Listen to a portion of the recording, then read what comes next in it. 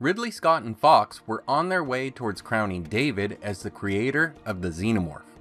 But I hope that we are witnessing a rare thing where the studio saw the direction that they were going was not being well received by the fans, so instead of barreling forward, they took advantage and changed course. Which is ironic because Fox was bought by Disney and they can't stop ruining the Star Wars universe. But Noah Hawley was recently on the Business Podcast where he talked about his upcoming FX Alien series, the origins of the Xenomorph, and whether or not the prequel films are still canon.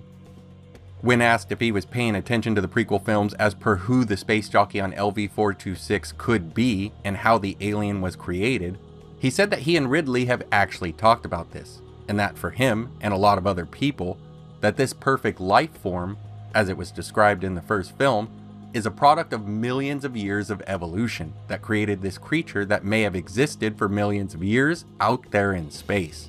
And the idea that it was made as a bioweapon that was created a half an hour ago is just inherently less useful to him, and to the mythology of what's scary about this monster. Which brings up a big question are the prequel films canon to the series?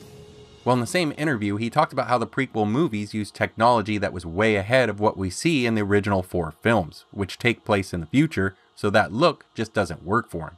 He loved the aesthetic of the older tech from Alien and Aliens, so that's what they're going to use for the series. However, in an earlier interview with Stars Info City, he also called the prequels historical documents and said that the series will focus on Weyland Yutani and the political environment on Earth.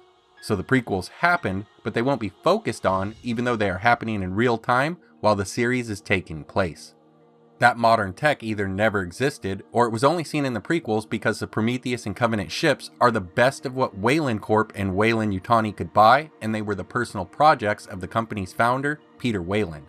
This change of technology is actually explained in the RPG, where monks from the unused wooden planet of Alien 3 end up releasing a virus that affects all modern computers, forcing mankind to roll back to safer analog systems.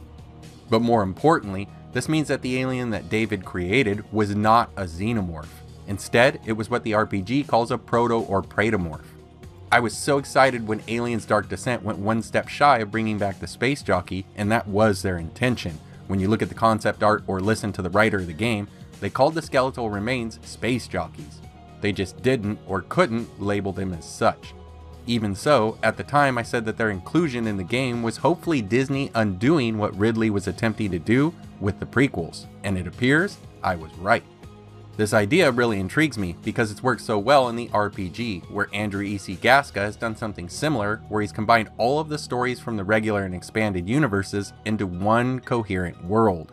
So perhaps now we have a film universe that contains both engineers and space jockeys, along with xenomorphs, neomorphs, praetomorphs, and deacons, where their true origins or evolutions have returned to being a mystery and now these changes have made their way from the expanded universe to the FX series, which I believe will be in top tier canon with the films. To learn more about Dark Descent space jockeys or the Xeno city that creates them, try one of these videos. Otherwise, thanks for watching, and I hope to see you next time.